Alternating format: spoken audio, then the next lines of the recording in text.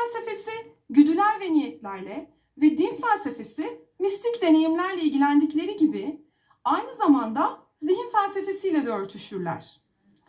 Zihin denince akla ilk gelen şey onun fiziksel olmayan bir şey, daha doğrusu düşünme kapasitesine sahip bir şey olduğudur. Sahipse ya da bilinçli olma kapasitesine sahipse bunun mantıksal sonucu hiç değilse bir zihnin var olduğudur.